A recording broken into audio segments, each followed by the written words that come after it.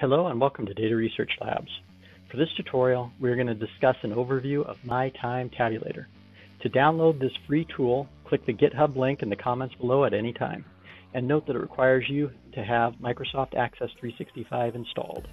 This is a brief overview of the My Time Tabulator tool. It requires Microsoft Access. You download the ACCDB file and then you just double click it and it's up and running.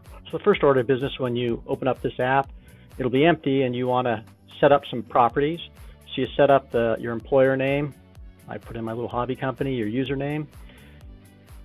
I use this for my day job too, and I put in my regular employer and I run that separate on the work computer. So I have two instances of my time tabulator running, one for at home after hours, that's what you're looking at here, and one for when I'm in doing my day job.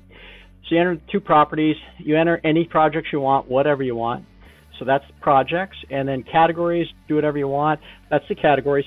Uh, you'll see if you go on the GitHub and read all the training documentation, there's some neat links in there to concepts of doing red light, green light, yellow light, orange light, where you take your tasks and categorize them by green light, work you should be doing, red light, work that you're not supposed to be doing, that's really not part of your job description, yellow light, stuff you can uh, take and delegate, etc. But read documentation on GitHub. There's some good examples there and uh, links to some good articles. So you've entered some properties, company name here, your name. You've entered some projects, and you can keep adding projects over time. And then you've entered some categories. Next, next you enter tasks. So this MCSE certification, it just happens to load that project first, and these are the tasks for it. So that's one project and all the tasks under it. If I went to MSDA, that's a graduate program, there's all the classes, blah, blah, blah. And then uh, the Data Research Labs, my little hobby company. There's all the different videos. I track each one, curious how long they take to do. So I have all these things broken out as tasks and entered in, and it's not a big deal. It doesn't take you long. If I want to add a task, I just go down here and type in a name, type in a category, pick from the drop down. Is it closed? Yes or no? Well, it's going to be no when I first start out, and then the project ID gets automatically assigned. So there's really not much to do when you add a new task you don't want to get too granular and add too many tasks, but you'll, you'll figure out what works for you. So once you've set up this metadata in these tabs up here, then you start doing your day-to-day -day entries. And as the day goes on, as soon as you click something, like if I were to click this and select, I'll hit yes, go pick something, whatever, pick that, it gets added in. Now I'm going to move off of it and say no, because I don't want to save the change. But anyway, you just go through, let's go to today's date. And so it's saying at 10 o'clock, that's an hour for now, that I'll end my day. Um, but anyway, you just enter all your times for tasks, when the task started, military time, 1600 hours, subtract 12, so that'd be 4.50 p.m. And 5.10 p.m. I switched, and 6.20 p.m. I stopped, took a break, did some errands, and then at 8, 20 minus 12, 8 p.m., 8 and 10, I started up again, did about two hours before it was bedtime. And that's how I enter the tasks. Now, why would you do that? Well, here's why. You get a time card, which is handy, so I can see what happened this week. I can go back a week, hit the time card again.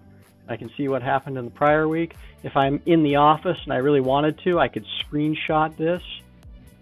Uh, if you don't have GreenShot, you can check out one of the tutorials I have. It's a really cool tool. So just like that, boom, boom, open it up in the image editor, GreenShot, pull it over. GreenShot's nice. There's GreenShot. Click this guy, right click this guy, give it a torn edge and a torn edge. There we go. I have a nice little, I can copy that, paste it, email it off. So that's one report you may or may not be interested in. And then there's several other reports. There's a roll up by category, I'm not going to go through filters. You can create all your own filters dynamically, but I'm not going to do that in this overview. The roll up by category, you can run the report, zoom in here a little bit.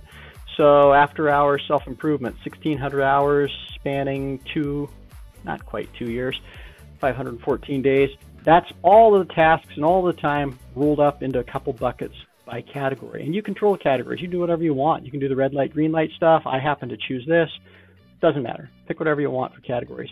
Projects, run the report. So the MCSE took me 299 hours across 89 days back in 2019 to get an MCSE certification. The master's degree was 1,200 hours, spanning just under a year, and so it all rolls up, and I know where it went. Now, if close that, there's a Gantt chart. It's nothing special. It's just the time laid out across the last couple of years. You can do filters and narrow it down, whatever, but then you can see what's the duration, in this case, all the different classes, uh, and how many days were they. So it took 31 hours, 32 hours across six days for a programming in Python two credit class. But uh, four credit SAS programming class was much harder 67 days, 181 hours. Let's exit out of there. And task by project or category. So we looked at categories up here where it was a roll up, not many lines, and maybe we were curious about the content and the tools. So we could drop down here to the detail, task by category, run that. Popped up on my other screen, bring it back over. And it's on spanning multiple pages here, but uh, yeah, we don't care about that. That's after hours self-improvement. We were concerned about the content, so the DRL Labs content. So there it all is. Uh, Excel basics drawing objects, six hours across two days. What matters is that you can see all the details and how they roll up and everything foots and ticks. So it's nice. Uh, why would you use it? Performance reviews, end of the year, you can go put on a filter, cut the data down to the past year and remind yourself, oh, I worked on this, this, and this. And then when you're running through what you accomplished for the year, you have all the details there. Or it's beyond the scope of this video, but in construction, you can go read the GitHub uh, training documents. In the construction industry, RS Means does just a phenomenal job of tracking how much it costs and how long it takes to do everything construction related. If you track some of these metrics yourself, if I wanted to go in, well, let's go run it here, do it by project. If I wondered for a course, well, how long is a statistics course at a graduate level take? Well, a three credit class takes 133 hours divided by the three credits that and you can estimate, oh, a three credit class is going to take me this long and average them all, all out. And you can do the same thing for whatever the work you're doing is. As long as there's a little bit of repeatability, you start at a baseline of two or three or four tasks, you can start to use that to predict in the future. Thank you for watching, and please, if you found this video helpful, click like and subscribe. Also check out our other videos and related playlists in the boxes to the right.